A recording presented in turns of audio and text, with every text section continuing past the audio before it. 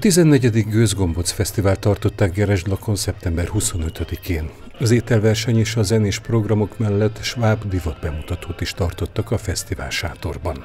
Bonyháttól egészen Mohácsig egy, van egy sváb tenger, valamennyi településen szerintem ugyanúgy tudják ezt a Gereslaki gőzgombócot csinálni, mint itt Gereslakon, és azt gondoltuk, hogy ne csak a gőzgombóc főző tudományukat mutassák be a csapatok, hanem minden szekrényben ott van még a sváb családoknál gyönyörű névviselet, sváb névviselet, és ezt szerettük volna feltárni, bemutatni.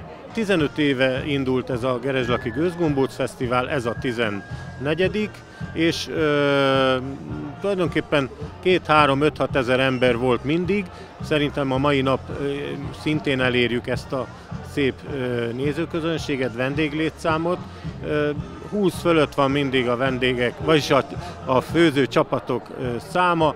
Budapesttől kezdve Nagymányokig, Gerezslak, Maráza, Erzsébe, több település megméretteti magát, és ez egy népünnepé, a svábságnak egy nagyon szép ünnepe. Az egész országból eljönnek ide Gerezslakra megkóstolni ezt a gasztronómiai csodát, a Gerezslaki gőzgombócot.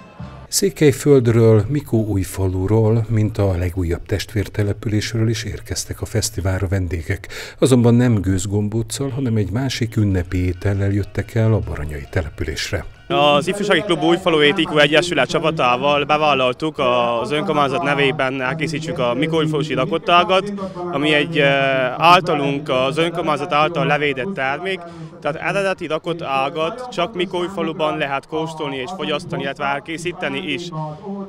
A lakottágnak a története az visszanyúlik már 100-150 eh, évre is, hiszen eh, a régi időkben, ahogy az öregek mondják, nem volt lehetőség minden házaspárnak esküvői tortát készíteni, így eh, egy egyszerű változatát a lakottágat készítették el. Mit azt mondják rá, hogy csöregefánk, mi azt mondjuk, hogy egy kicsit másabb, mert vannak titkos összetételeink, amiket nem igazán szeretnénk elárulni, de az alapja nagyjából hasonló a csöregefánkéhoz, egy faágra lakjuk fel, szépen felfűzzük kötővel, és akkor ezért nevezzük lakott ágnak.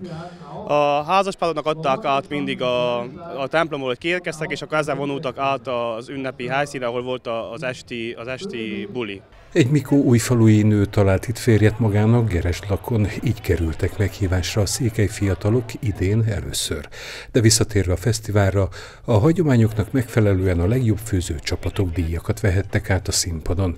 Majd ismét a zenéjé, mulatozásé volt a főszerep a Gőzgombóc Fesztiválon Gereslakon.